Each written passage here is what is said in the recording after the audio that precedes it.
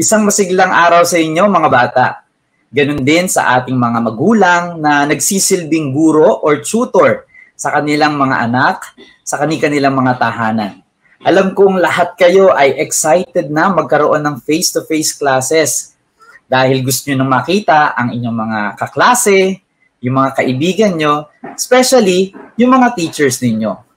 So balik dyan lamang kayo sa inyong mga tahanan at hayaan yung ihatid namin ang inyong pagkatuto sa pamamagitan ng DepEd Itulay Online Tutorial.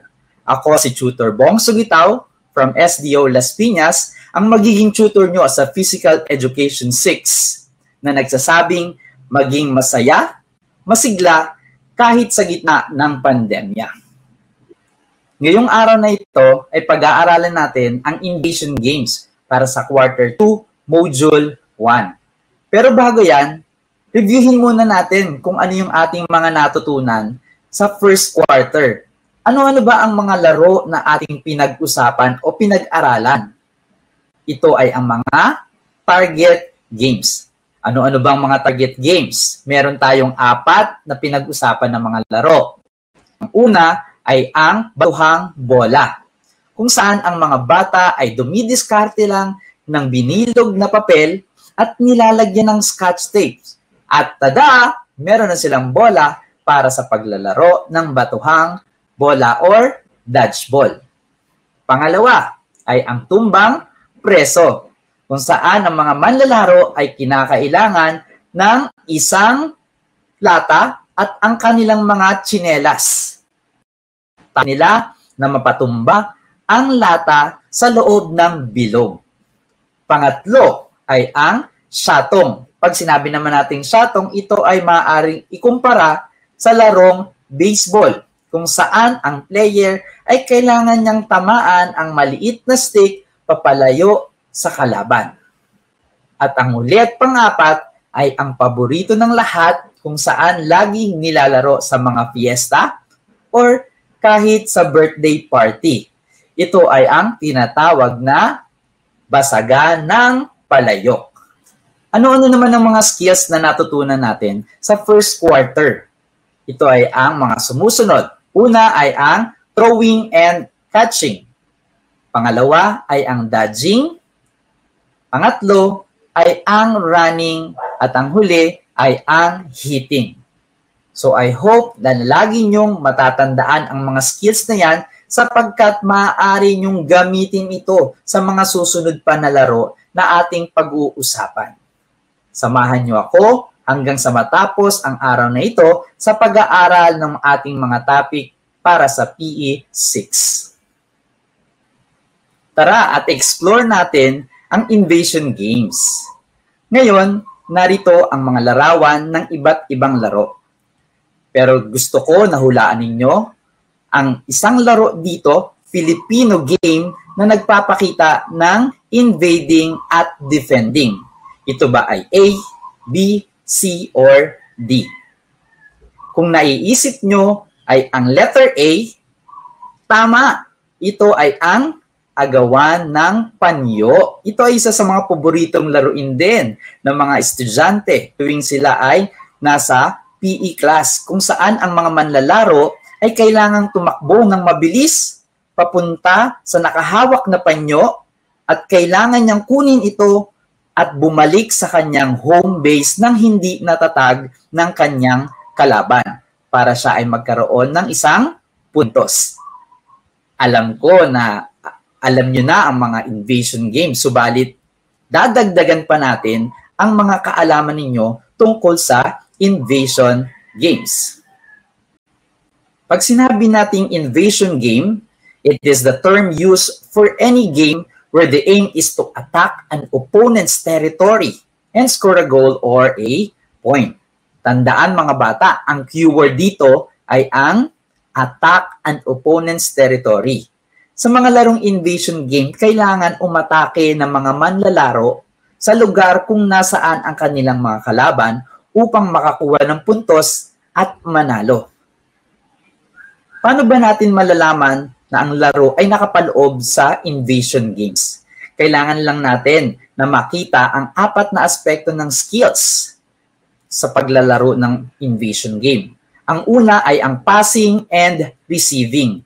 Kung ang laro ay nagpapakita ng passing and receiving, ito ay nakapaloob sa invasion game. Pero tandaan nyo mga bata na ang pagpasa ng bola or anumang bagay na kinakailangan dun sa laro, kailangan you have to do it accurately. Hindi lang basta-basta hinahagis ang bola or anumang bagay sa iyong kakampi nang hindi tama sapagkat masasayang ang pagkakataon ninyo na makakuha ng puntos kung ito ay hindi masasalo ng iyong kakampi. Pangalawa, yung strength. Pag sinabi nating strength, ito yun naman ay kakayanan ng inyong katawan na tumagal sa buong laro para manalo.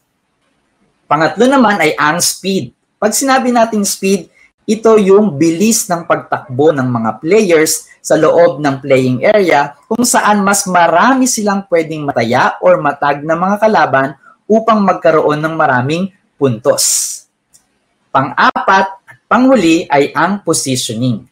Kung magaling ang leader sa pagposisyon ng kanilang mga players, ay maaari silang magkaroon ng mas maraming puntos pag sinabi nating positioning, paglalagay ng mga players sa loob ng playing area. Ito ay kasama sa kanilang mga techniques at strategiya. Kapag nakita ang apat na aspect ng skills ng mga sumusunod, ay pwede nating tawagin na invasion game ang inyong nilalaro. Ayan, sige. Magbigay tayo ng iba't ibang klase ng invasion games. Ano kaya ito? Ayan, nakita na natin ito kanina. Ito ay tinatawag na agawan ng panyo. Pangalawang invasion game, ito ay makikita natin na ang mga bata or manlalaro ay magkakahawak ng kamay at ang isa sa kanila ay nakaapak sa isang bato or base. At ang isa sa kanilang mga kakampi ay tatakbo upang itag or hawakan ang anumang parte ng katawan ng isa sa mga players na nakaapak doon sa base upang magkaroon ng kanilang puntos. Ito ay tinatawag nating agawang base. Tama, napakasarap laruin yan, lalo na kapag malaki ang playing area nyo sa inyong lugar. Pangatlo, ano naman kaya ito? Marahil ito ay isa sa mga sikat na laro sa, sa loob ng paaralan. Dahil alam natin kung paano ito laruin. Nakikita natin ang mga players ay nakatayo at nakabantay sa mga linya upang hindi makapasok ang mga manlalaro. Ito ay tinatawag na tama, patintero. At ang huli, ayan. So nakikita natin, dalawang grupo ang naglalaro dito. Sila ay nakapila sa likuran sila yung tinatawag na mga sisiw. Ang leader ay nasa unahan upang protektahan ang kanilang mga sisiw sapagkat ang lawin or yung leader ng kanilang grupo ay kinakailangang mahawakan or makuha yung sisiw ng kalaban niya. Kapag siya ay nakahawak or nakuha niya ang sisiw ng kalaban, ang sisiw na ito ay pupunta sa kanyang grupo hanggang maubos ang mga sisiw ng kanyang kalaban. Ito naman ay tinatawag na lawin at sisiw. Ayan mga bata, ilan lang ito sa mga invasion games na maaari nating laruin kapag natapos na ang pandemic na ito. Hayaan nyo, pagkatapos na pagkatapos na ito, maaari nyo nang yayain ang inyong mga kaibigan, mga kaeskwela na maglaro ng iba't ibang klase ng invasion games. So dito, ano ba ang maaari nating ma-develop sa ating katawan? Ano-ano ba ang mga skills na ito? Kailangan alamin din natin. Nang sa gayon, mas ma-enjoy natin ang paglalaro ng iba't ibang klase ng invasion games. So, unang-una, kapag tayo ay palagi ang naglalaro ng invasion games, madidevelop sa atin ang passing and receiving. Sinabi ko kanina, kailangan ang pagpasa at pagsalo ng bagay ay dapat accurate, tama, para hindi masayang ang tsansa ninyo na magkaroon ng isang puntos para manalo. Pangalawa ay ang dodging. Pag sinabi naman nating dodging, ito ay yung to avoid something by sudden movement. Pero maging maingat tayo kapag tayo ay gagalaw. Dapat ay wala tayong tatamaan or masasaging mga players kung safety ang pinag-uusapan natin dito. Next is the change of direction. Pag sinabi nating change of direction, mula sa kaliwa, tatakbo ka ng papuntang kanan or papuntang kanan, papuntang kaliwa. Or pwede namang uusong ka or aatras ka. Dapat alam mo din kung paano at kailan ito ginagawa. Next is the speed and agility. Pag sinabi nating speed and agility, ito ay being quick and flexible. Kailangan mabilis tayong bumalaw, mabilis tayong makapag-isip kung saan tayo papunta. Kailangan flexible din ang ating katawan. Nang sa gayon, hindi sasakit ang ating mga kasukasuan after nating maglaro. And of course, magagawa natin yan sa tamang warm-up exercise. Sa kahit anong laro, anumang sports, kinakailangan na meron tayong warm-up exercise. Tatandaan natin yan ha, para sa gayon, ma-enjoy natin ang buong laro at hindi sasakit ang ating mga katawan. Another one is the change of speed. From mabagal hanggang bibilis or bibilis, biglang babagal. Kailangan marunong tayong mag-change ng ating speed kung kinakailangan sa laro. Ayan. So, etong mga skills na ito ay madidevelop kung palagian tayong maglalaro ng mga Filipino games na nagpapakita ng defending at invading. Alam nyo mga bata, ang Pilipinas ay napakayaman pagdating sa mga laro. Ilan lamang ito sa mga laro na sin- pinakita ko sa inyo or sinabi ko sa inyo. Napakarami pa nating laro na dapat nating malaman, ipagmalaki, at lalong-lalo na i-share natin sa ating mga kaibigan kung hindi pa nila alam ito. Ayan. So natapos na natin ang pag-aaral ng invasion games. Kung ano ang ibig sabihin nito, ano yung mga skills na pwedeng ma-develop. Ngayon naman ay sasagutin natin ang ilan sa mga katanungan sa ating module.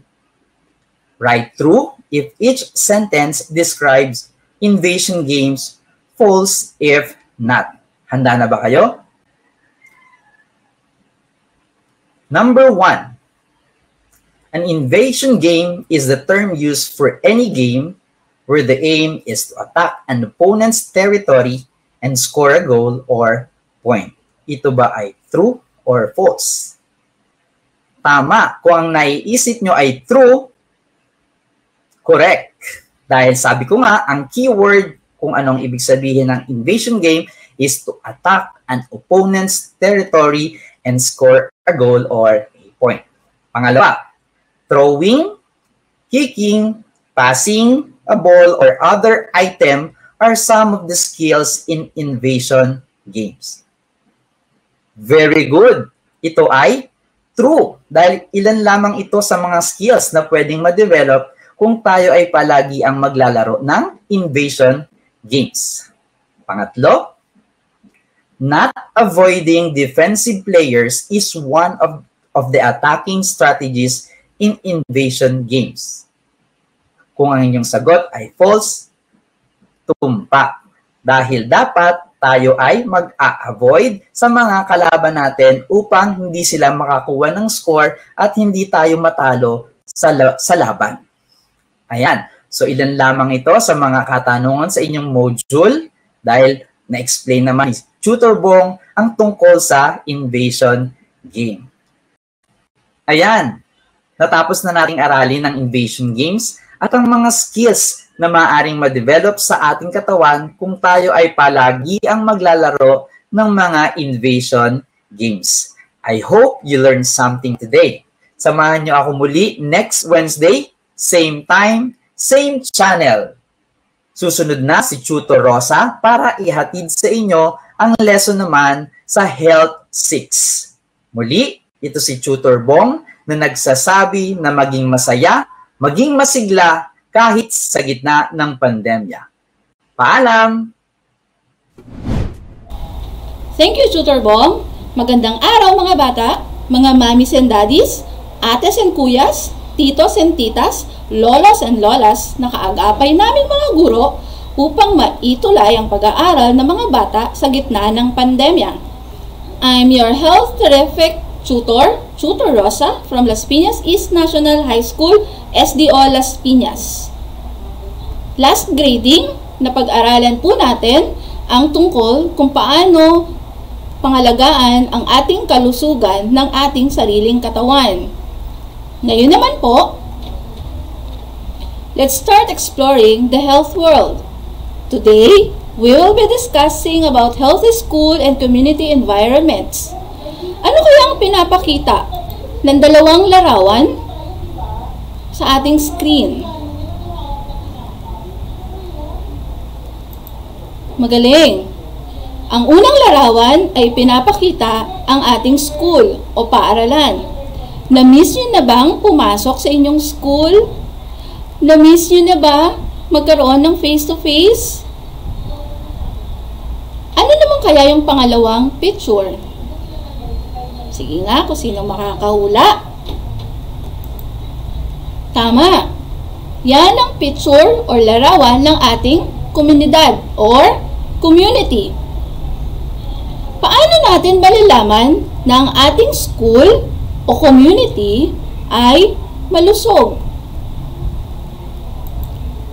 Meron tayong iba't ibang mga characteristics na kung saan magpapakita or magsasabi na ang ating school or community ay malusog. Ano kaya yung isang characteristic na yon? Sige nga, Sino makakahula sa inyo ng isang karakteristik ng isang malusog na community or paaralan? Tama. Sa isang malusog na paaralan or community, kailangan ito ay safe. If the environment is safe, the children are free from harm and danger. They enjoy and play safely without injury. They will feel safe and secure. So napakahalaga na ang isang kapaligiran o isang komunidad ay ligtas. Ayan, lalong-lalo na sa mga bata at sa lahat ng tao na naninirahan dito. Ano pa kaya ang isang karakteristik ng malusog na komunidad or paaralan? Tama. Kailangan ito ay merong clean and good quality of air and water supply. Clean and air and water in school and community will keep our children away from illnesses and diseases. They will live a healthy and happy life. Ayan, so paglipat natin sa isang komunidad, bukod sa ligtas, pangalawang tinitingnan ng ating mga magulang ay kung dito ba ay merong ligtas, malinis, at magandang um, kwalidad or quality ng tubig na mapagkukunan. Bukod sa dalawa, ano pa kaya? Ayan, meron tayong tinatawag na aesthetically pleasing An aesthetically pleasing environment will motivate learners to be ready and open to learning. Learners will feel happy to be in school. It will inspire them to participate actively in class and will improve their academic performance. Dito natin makikita ang mga design at ang mga nakalagay sa ating loob ng paaralan. Natatandaan niyo pa ba ano-ano ang mga nakalagay sa inyong loob silid-aralan? Di ba ang inyong mga guro ay nag-aayos palagi ng inyong silid-aralan? Para ma-achieve ang pagkakaroon ng aesthetically pleasing environment. Ano kaya ang pang-apat? Ayan, magaling. Siyempre, sa isang komunidad o isang paaralan, kailangan merong flexible space. In a school facility like a classroom with enough space will allow children to learn comfortably. Para naman ang ating mga bata at ang mga mamamayan ay makakakilos ng malaya. Iwas sa aksidente rin. Di ba mahirap mag-aral or matuto kapag ang iyong silid-aralan ay masikip at magulo? Bukod sa apat na characteristics na nabanggit, ano pa kaya ang karakteristik para magkaroon ng malusog na komunidad? Magaling! Kailangan ang ating komunidad ay merong warm atmosphere. Ang warm atmosphere ba ay tumutukoy sa mainit na kapag kapaligiran? Siyempre hindi. A warm and welcoming and friendly environment will develop a sense of trust and respect among learners. Ito yung sinasabing mainit na pagtanggap. 'Di ba? Maiging mag-aral or magandang mag-aral sa isang paaralan or magandang manirahan sa isang komunidad kung ikaw ay tanggap ng mga tao na unang naninirahan doon? Dahil sa unang pasok or paglipat mo pa lang ikaw ay meron ng kaaway, Siyempre, hindi yun maganda. Ano kaya yung pang-anim pang karakteristik? Magaling. Kailangan magkaroon ng healthy personal relationship. A healthy personal relationships will lead to a positive interaction among learners and teachers. It creates harmonious relationship and promotes spirit of camaraderie. 'Di ba? madaling matuto ang mga bata kung ang kanilang relasyon sa guro at sa kanilang kapwa mag-aaral ay malusog, masaya, at lahat sila ay nagkakasundo. Wala naman sigurong magulang o guro ang gugustuhin na ang mga mag-aaral niya ay laging nag-aaway. Yan. So, para maging healthy ang ating school at community, kailangan magkaroon ng healthy personal relationship. And the last characteristic, yan, free from abuse and discrimination. An environment that's free from abuse and discrimination will lead into a positive attitude that will help children develop their self-esteem and sense of belonging. Lahat ng karakteristik na ito para masabi natin na ang isang komunidad o paaralan ay malusog, kailangan kumpleto. Ngunit, hindi lahat ng characteristics ay meron sa isang komunidad o paaralan. Uli, ito ang ating characteristics of a good and healthy school and community. These characteristics are classified into two. These are physical environment and psychosocial environment. Bakit nga ba mahalaga na maging malusog ang ating paaralan at komunidad? Siyempre, kailangan malusog ang ating komunidad o paaralan upang makatulong ito sa ating pag-aaral at ang ating pamumuhay. Hindi lang sa, sa hindi lang sa pisikal, pati rin sa ating psychosocial na pagkatao or characteristic ng isang tao.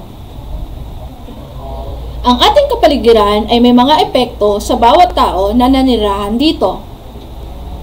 Ating alamin kung ano nga ba ang mga epekto. Write through if this phrase or sentence describes the characteristics and effect of living in a healthful school and community. Right? False? If it is not. So, ilalagay nyo lang sa inyong papel ang true or false. Number one, clean food and water source. Ito ba ay nagpapakita ng isang characteristic or epekto sa mga naninirahan ng isang malusog na komunidad o paaralan? Magaling. True. So ito ay nagpapakita ng karakteristik ng isang malusog na paaralan o komunidad. Kaya nga, di ba, sa ating mga school canteen, kailangan ang mga pagkain na nandoon ay mga masusustansya. Number two, harmonious relationship among community members. Is it true or false?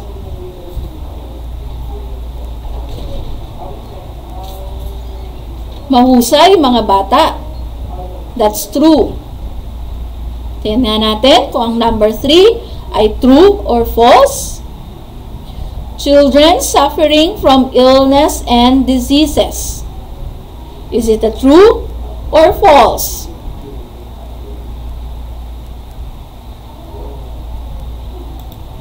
Magaling. That is false. Dahil dapat ang mga bata or mga kabataan ay malayo sa mga sakit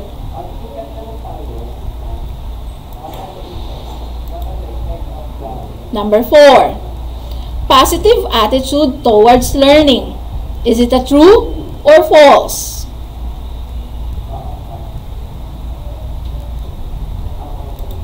Napakahusay. That is true.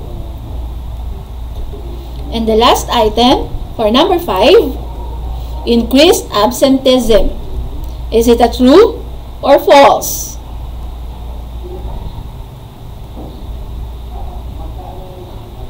Magaling. That is false.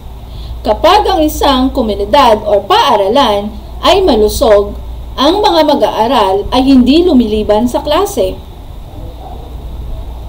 Napakahusay mga bata. Tandaan na hindi lang ang ating katawan ang kailangang malusog, kundi pati ang ating kapaligiran. Mapa-physical man yan o psychosocial. Ako ang Health Terrific Tutor nyo, Tutor Rosa, na pansamantalang nagpapaalam sa ngayon at umaasa sa patuloy ninyong pagsubaybay at pagsuporta sa DepEd projects tulad nito. Muli tayong magkita-kita sa susunod na Miyerkules para pag-aralan ang isa pang topic about sa health, PE, music, and arts. Tandaan, ang kalusugan ay kayamanan, kaya ito'y pag-ingatan lalo't ngayong panahon ng pandemya. Bye-bye!